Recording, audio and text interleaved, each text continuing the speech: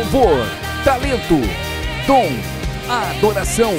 Vem aí, segunda conferência Playtime com o pastor e produtor musical Stefano de Moraes e Fábio Aposan. Será no dia 7 de maio, das 9 horas às 5 da tarde, na sede estadual da AD Brasil.